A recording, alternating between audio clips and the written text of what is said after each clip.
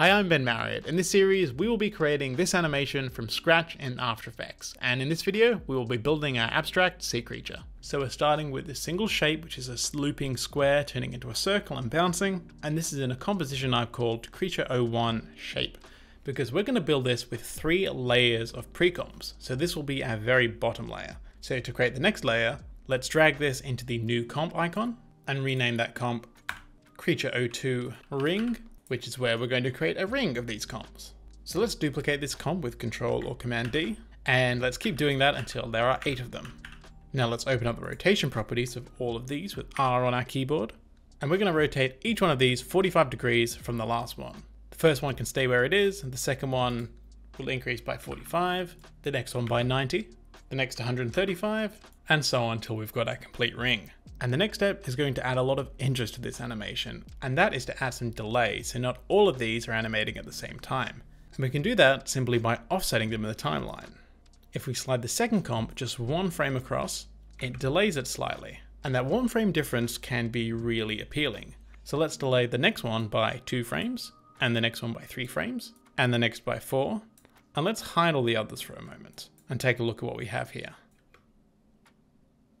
Now we've got something really interesting. We've got overlapping action, where it looks like these duplicates are reacting to the first one being triggered. Organic motion doesn't happen all at once. If you want your motion to feel less robotic and mechanical, delaying elements can really help with that. Now let's make the others visible and offset the remaining three, but offset them less and less going down the layer stack, so that the most delayed comp is the one on the bottom of the ring. And now we've got this, way more interesting than our ring from before. Now at the start of the comp, there's a few frames where some of them are missing, but we're gonna hide those in the next layer. So now let's drag this composition, Creature 02, into a new comp, and let's call this one Creature 03 Tunnel. And inside this comp, we're gonna need four copies of this comp, so let's duplicate until there's four. And then we're gonna open up the scale of each of these and scale them each down by half. So the first one will be 50% scale, then the next one 25, and then the last 12.5. There we go. And to get these to align in a more natural way, let's take number two and four, open up their rotation and rotate them 22 and a half degrees, half of 45. So now they line up in between the shapes on the layers below and above them. There.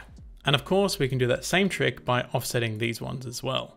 So let's move this layer back one frame, this one two, and this one three. So now we've got a wonderful delay going inwards as well. And to get rid of these missing frames at the start, let's just select all of our layers at the one second mark and drag them over so our composition starts one second in, after they've already been revealed. Now, because all of these comps are just duplicates of one base animation, all we need to do is make a single change to this one base animation, and it will affect the whole chain of comps but I prefer yellow, so let's undo that. And now our creature is complete. In the next video in this series, we're putting these all together into a scene with depth and parallax.